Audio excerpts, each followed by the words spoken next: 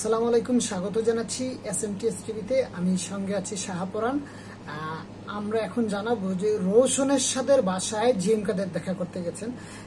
দেখা করেছেন জাতীয় পার্টির প্রধান পৃষ্ঠপোষকরা রোশনের সাদের সঙ্গে দেখা করেছেন দলটির চেয়ারম্যান গোলাম মোহাম্মদ জিএম কাদের। আজ রোববার দুপুরে রোশনের সাথে সাদের গুলশানের বাসবনে গিয়ে জিএম কাদের দেখা করেন। এই সময় তার সঙ্গে ছিলেন দলের মহাসচিব মুজিবুল হক চুন্নু। জিএম কাদের বলেন যে উনি রোশ- রোশনের সাথ। অনেকদিন পর তার নিজ বাসায় গেছেন, সেজন্য আমরা সৌজন্য সাক্ষাৎ করেছি। আগামী পয়লাই জাতীয় পার্টির প্রতিষ্ঠাবার্ষিকী, প্রতিষ্ঠাবার্ষিকীর অনুষ্ঠানে ওনাকে আমন্ত্রণ জানানো হয়েছে। উনি বলছেন যে আসবেন।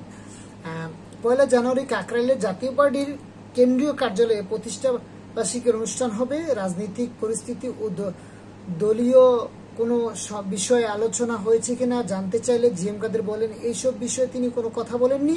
তিনি আমার ও পরিবারের খোঁজখবর নিয়েছেন। শারীরিক অসুস্থতার কারণে দীর্ঘদিন ব্যাংককে চিকিৎসাধীন ছিলেন সংসদে বিরোধী দলীয় নেতা রোশন এরশাদ।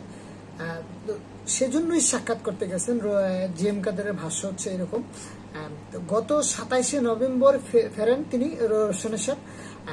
দলের নিয়ন্ত্রণ নিয়ে রোশন ও জি এম কাদের বিরোধী বিরোধ দীর্ঘদিনের ব্যাংককে থাকাকালে নিজ অনুসারীদের দিয়ে জাতীয় পার্টির সম্মেলনের ডাক দিয়েছিলেন রোশনের এরশাদ এরপর পাল্টা রোশনকে সরিয়ে জেএম কাদেরকে সংসদ বিরোধী, সংসদে বিরোধী দল- দলীয় দলীয় নেতা করার জন্য স্পিকারের কাছে আবেদন করা হয়।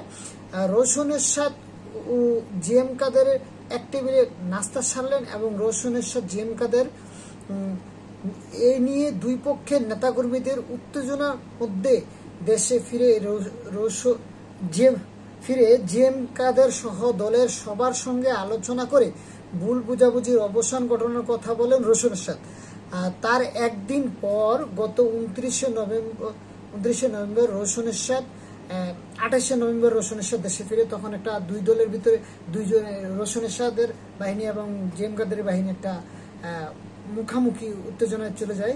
সেখানে ভুল বুঝাবুঝি হয়। তো রোশনের সাথে দেশে ফিরে বলে যে, আমি এটার সমাধান করব। তো রোশনের সাথে আড়াইশো নম্বর ফিরে, তারপর উনত্রিশে নভেম্বর দেখা করেন জিএম কাদের। দুজন এক টেবিলে নাস্তাও করেন।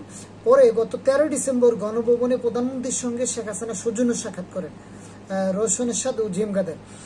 জাতীয় পার্টি এখন বিএনপির ছেড়ে দেওয়া পাঁচটি সংসদীয় আসনের জন্য উপনির্বাচনে প্রতিনিধিত্ব করছে।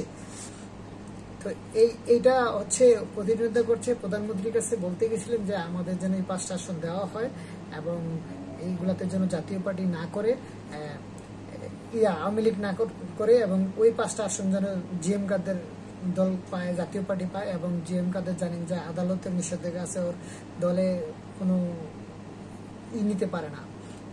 দলের কোনো মুভমেন্ট নিতে পারবে না সে কোনো ভূমিকা রাখতে পারবে না, কোনো নির্দেশ দিতে পারবে না। তো আদালতের এটাও যেন উগ্র হয়, সেজন্যই শেখ হাসিনার কাছে গেছিলেন, কিন্তু তিনি স্বীকার করেননি। এই ছিল আজকের অনুষ্ঠান। ভালো থাকবেন, সুস্থ থাকবেন, আমাদের সঙ্গে থাকবেন।